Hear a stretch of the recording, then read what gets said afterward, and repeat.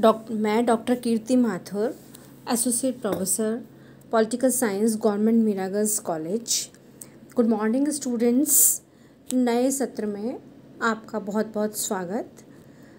Mohanlal Sukhadia university के BA part second का first paper का फ़र्स्ट टॉपिक है संविधान का अर्थ व परिभाषा. आज अपन उसके बारे में चर्चा करेंगे.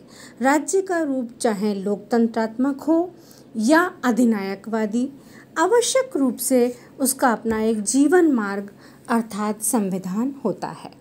लोकतंत्र की स्थापना के पूर्व फ्रांस में निरंकुश राजाओं का शासन था। लुई चौदहवें कहा करता था आई एम द स्टेट मैं ही राज्य हूँ। अर्थात ये शासक अपनी इच्छा को ही कानून मानते थे। किंतु इनके शासनकाल में भी फ्रांस में एक प्रकार के संविधान की सत्ता विद्यमान थी और कुछ ऐसे कानून थे जिनका उल्लंघन शासक के द्वारा भी नहीं किया जा सकता था।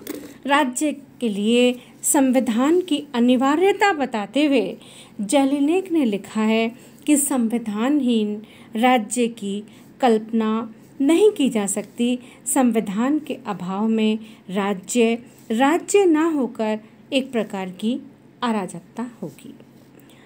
मानव शरीर के संदर्भ में संविधान के अंग्रेज़ी पर्यायवाची शब्द कॉन्स्टिट्यूशन का प्रयोग मानव शरीर के ढांचे और उसकी बनावट के लिए किया जाता है।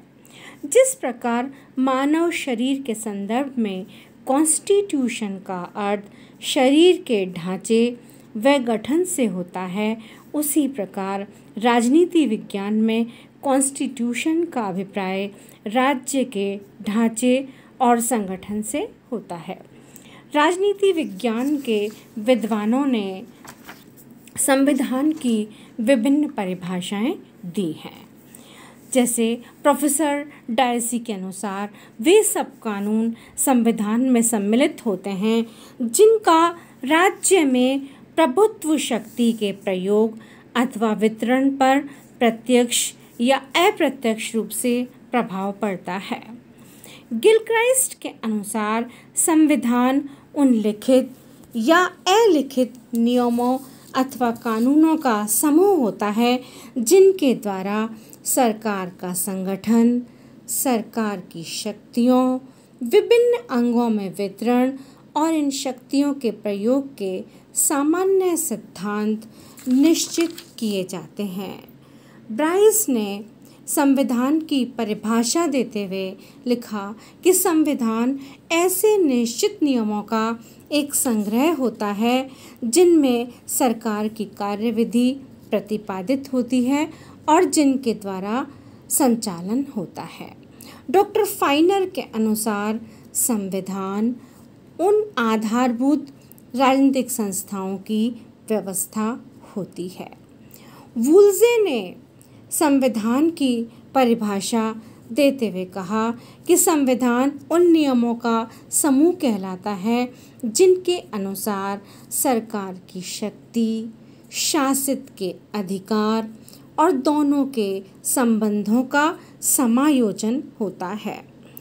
उपरोक्त परिभाषाओं का विश्लेषण करने पर यह निष्कर्ष सामने आता है कि किसी भी राज्य के संविधान में तीन बातें प्रमुख होती हैं। पहला, व्यक्ति व्यक्ति का पारस्परिक संबंध। दूसरा, व्यक्ति और राज्य, अर्थात शासक और शासित का संबंध। और तीसरा, सरकार के संगठन, उसके ढांचे और सरकार के विविध अंगों का पारस्परिक संबंध।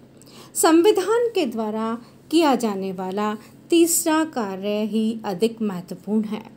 अतः संविधान राजकीय आचरण का वह विधान होता है जिसके द्वारा व्यक्ति व्यक्ति और व्यक्ति एवं राज्य के पारस्परिक संगत को निश्चित किया जाता है एवं जिसके द्वारा सरकार के विविध अंगों का स्वरूप एवं गठन, उनकी शक्ति और सरकार के विविध अंगों का पारस्परिक संबंध निश्चित किया जाता है।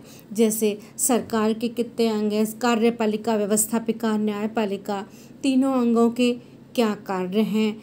तीनों के आपस में क्या संबंध है? किस तरह से एक अंग का दूसरे अंग पर नियंत्रण स्थापित होता है? इस तरह से संविधान में इन सब बातों का अध्ययन किया जाता है। Thank you.